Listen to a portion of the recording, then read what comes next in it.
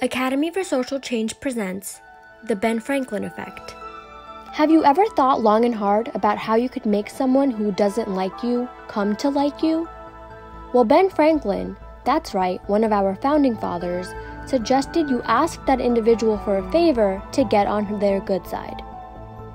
This idea became known as the Ben Franklin effect.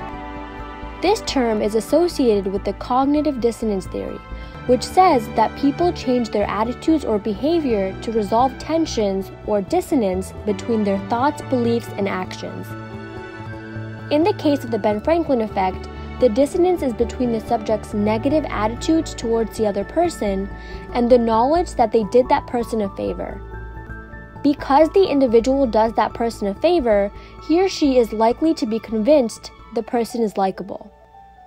The change in attitude can prevent or resolve any dissonance between the individual's opinion about and actions towards the other person.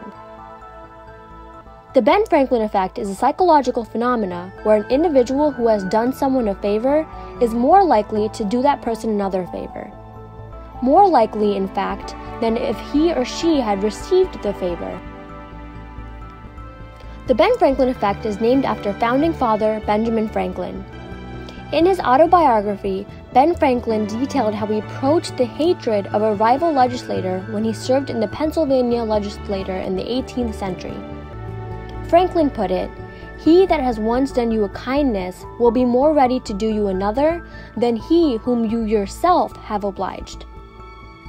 When striving to create change, it can become necessary to make others like you to hear you out. The Ben Franklin effect is one way to achieve that. Whether or not you believe in this effect, the act of approaching someone and asking for a favor puts you in contact with that person. In turn, that creates an opportunity for you and the other person to engage and possibly begin a relationship. It is an important life skill to be able to influence how others perceive you, but also to learn to approach others. Can you think of a time in which you didn't like someone but became friends with them after they asked you for a favor? Explain.